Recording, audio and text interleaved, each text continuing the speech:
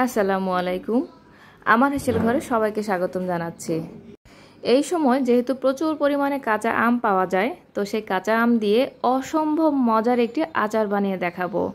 তো খোসা সহ এই আমের আচারের রেসিপিটা সম্পূর্ণই আমার নিজের। আমি নিজে যেভাবে বাসায় রান্না করি বা আচারটা বানাই, সেভাবেই আপনাদের সাথে শেয়ার করব।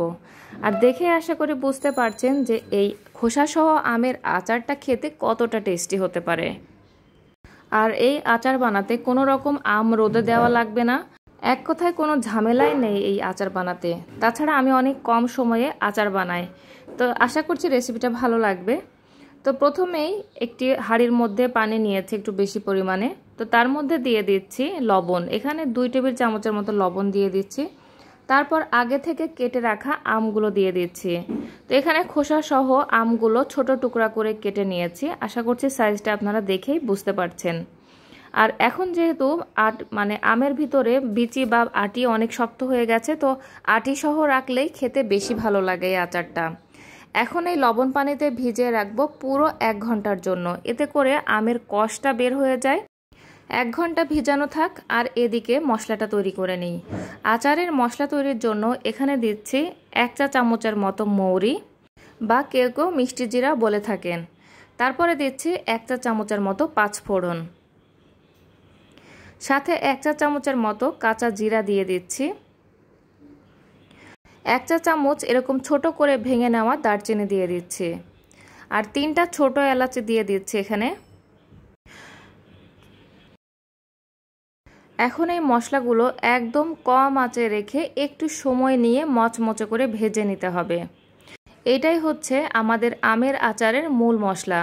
তো যে কোনো আচারে কিন্তু এই মশলাটা ব্যবহার করতে পারেন মানে যে কোনো আমের আচারে। একটু সময় নিয়ে ভাজার কারণে অনেক সুন্দর ফ্লেভার বের হয় এই মশলা থেকে। তাছাড়া অনেক বেশি মচমচে হয়। আস্ত মশলাগুলো ভাজা হয়ে গেলে একটি পাত্রে ঢেলে নিচ্ছি। সামান্য একটু ঠান্ডা হয়ে গেলে আধা ভাঙা করে একটি বাটিতে রেখে দেব। তো পুরো গুঁড়ো করতে যাবেন না, একটু দানা দানা থাকবে, সেভাবেই করতে হবে।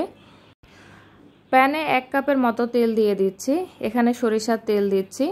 তো তেলটা একটু গরম হয়ে গেলেই রসুন কুচি দিয়ে দিচ্ছি। এই বড় রসুনের কোয়াগুলো একটু বাড়ি দিয়ে আধা ভাঙা করে নেওয়া। মানে আশা করছি দেখে বুঝতে পারছেন, আমি হামানদিস্তার মধ্যে নিয়ে একটু থেতো করে নিয়েছি। রসুন কেউ বেশি পছন্দ করলে আরও এই পরিমাণ দিতে পারেন। আর আচারের মধ্যে রসুনের ফ্লেভারটা বেশি ভালো না লাগলে দুই টেবিল চামচের মতো রসুন ছোট ছোট কুচি করে নিতে পারেন। এতে করে রসুনের ফ্লেভারটাও অতটা স্ট্রং হবে না আচারের মধ্যে। তো যখন এই রসুনগুলো হালকা ভাজা ভাজা হয়ে যাবে মানে হালকা ব্রাউন কালার হয়ে যাবে, তখন পানে ঝরিয়ে রাখা আমগুলো দিয়ে দিচ্ছি। চেষ্টা করবেন আমের মধ্যে যেন কোনো রকম পানি না থাকে সেই ব্যবস্থা করেই আমগুলো দিতে। এতে করে আমের আচার অনেক বেশি দিন পর্যন্ত বাইরে রেখে খাওয়া যাবে। তো এখন হালকা নেড়েচেড়ে মিশিয়ে নেওয়ার পর দিয়ে দিয়েছি দুই চা চামচের মতো আদা বাটা, হাফ চা চামচের মতো হলুদের গুঁড়া, হাফ চা চামচ মরিচের গুঁড়া আর দুই টেবিল চামচ সাদা সরিষা হামানদিস্তার মধ্যে নিয়ে আধা ভাঙা করে নিয়েছি। একদম মিহি গুঁড়া না কিন্তু, একটু দানা দানা আছে বা একটু গুঁড়া গুঁড়া হয়েছে কিছুটা, সেরকমটাই করে নিতে হবে। সাথে এক চা চামচের মতো লবণ দিয়ে দিলাম। আর এখন সব কিছু একসাথে মিশিয়ে নিতে হবে। আর যতক্ষণ এই আমগুলো শক্ত থাকে, ততক্ষণই এইভাবে নাড়াচাড়া করতে পারবেন।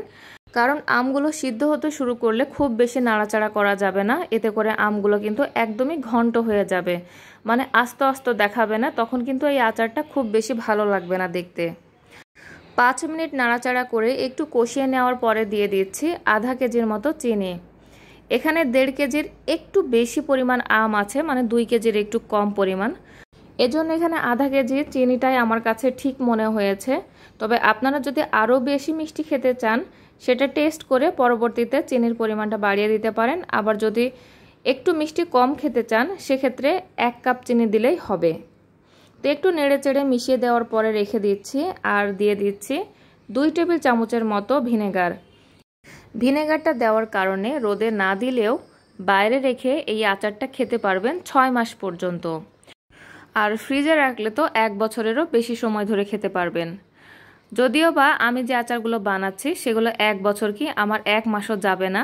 তো এজন্য আমি কিন্তু একটু কম পরিমাণ ভিনেগার দিয়েছি। যদি বাইরে রেখে অনেক দিন পর্যন্ত সংরক্ষণ করতে চান সেক্ষেত্রে ওয়ান ফোর্থ কাপের মতো ভিনেগার দিবেন। মানে আমি দুই টেবিল চামচ দিয়েছি, আরও দুই টেবিল চামচ ভিনেগার বাড়িয়ে দিবেন।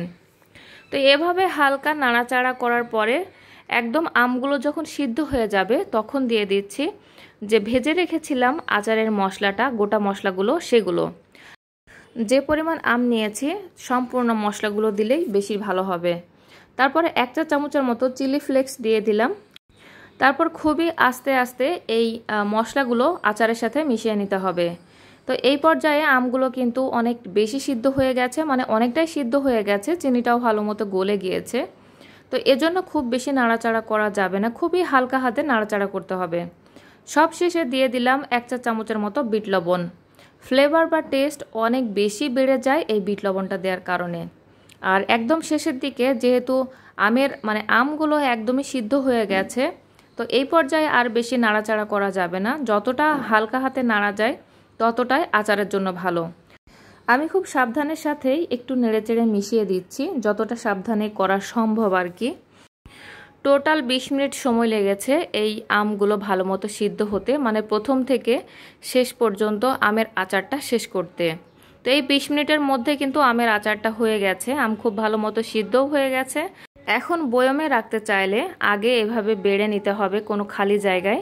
তো বেড়ে নিয়ে তারপরে ঠান্ডা করে মানে পুরোপুরি ঠান্ডা করে তারপরে বয়মে ঢুকাতে হবে। তো আশা করছি দেখেই বুঝতে পারছেন যে এই আমের আচারটা কতটা লোভনীয় হয়েছে। যেহেতু সামান্য একটু মরিচার গুঁড়া দিয়েছি আর একটু হলুদ দিয়েছি, এজন্যই কালারটা এতটা সুন্দর এসেছে।